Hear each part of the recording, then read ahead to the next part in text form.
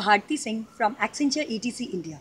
I have been working with Accenture since last 10 years. I have worked on various domains. Today I am going to present a paper on one of the most prominent issue on health and care that is breast cancer. Radiation for cancer treatment leads to 70% reduction in the rate for reoccurrence of tumor, but complication is proximity to the other organs which gets unwanted radiation while the affected organs are irradiated.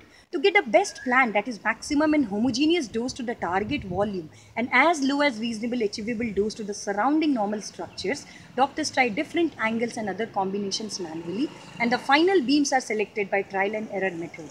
To eliminate this method, a model using machine learning artificial intelligence where deep learning will be used will be created which will generate the images from treatment planning software as output by using the inputs provided by the user. The model will be trained with lot of parameters of uh, patient's data.